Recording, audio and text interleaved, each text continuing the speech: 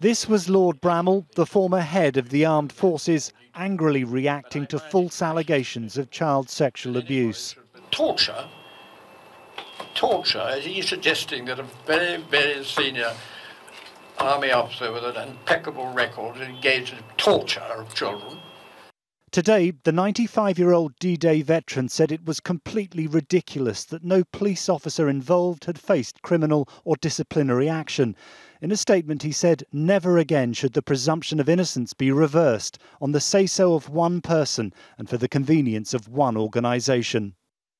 Last week, Carl Beech was jailed for 18 years for inventing those false allegations of murder and child sexual abuse. Now, a former High Court judge says officers who obtain search warrants for Lord Bramall's home and others should be investigated.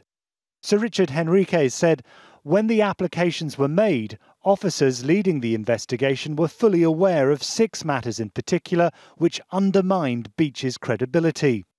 Thus, the course of justice was perverted with shocking consequences. A criminal investigation should surely follow.